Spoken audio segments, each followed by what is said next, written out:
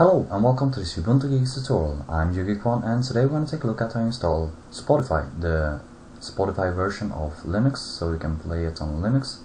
Um, I have a tutorial on how to do the cracked in Wine, but let's try it out in the Linux version.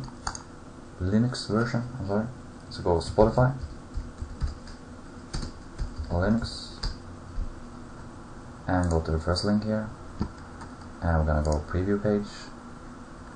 And we're gonna have all the commands here. Uh, I will have all the commands and links in the description box for you. So now we're gonna open up your terminal and you're gonna type in sudo gedit and we're gonna take this sentence in here and paste that in.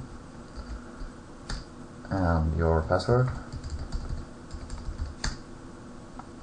and go to the bottom of this page and type this in here. And paste that in and save it and close it. And then you're gonna go here and paste this key here. Press enter here and you're gonna have to update it here and update that. And you're gonna copy in this sentence here to install it